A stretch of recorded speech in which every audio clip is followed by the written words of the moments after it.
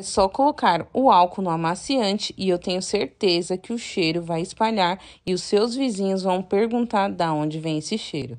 Para começar, vamos precisar de um borrifador, certo? Vou tirar aqui e vou usar um auxílio de um funil, certo? Assim, para facilitar na hora de colocar os produtos. Vou colocar aqui amaciante concentrado, porque o amaciante concentrado vai durar bastante a fragrância e o cheiro. Aqui eu vou colocar uma tampinha, certo? Isso também vai depender do borrifador. Esse borrifador que eu estou usando é pequeno, se o seu for maior, você pode aumentar a quantidade. Vou utilizar álcool 70.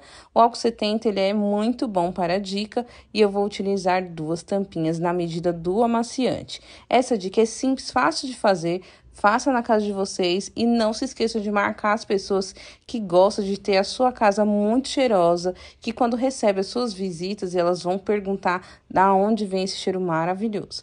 Agora vamos colocar água, certo? Vamos colocar água até um limite. Não precisa colocar até o final, porque a gente vai acrescentar mais um ingrediente que vai te ajudar bastante. Agora sobrou um pouquinho e agora a gente vai retirar o funil e vamos acrescentar a canela em pau. É isso mesmo, a canela em pau tem um cheiro maravilhoso e principalmente aquele cheirinho de casa sempre tem essa fragrância de canela ou de cravo. Se você gosta, você pode estar colocando. Se não, você pode deixar deixar sem a canela. E eu vou mostrar para vocês aonde eu vou utilizar na minha casa, que fica um cheiro maravilhoso e todo mundo pergunta. Coloco nas cortinas, certo? No quarto, na sala, você pode estar colocando onde você quiser.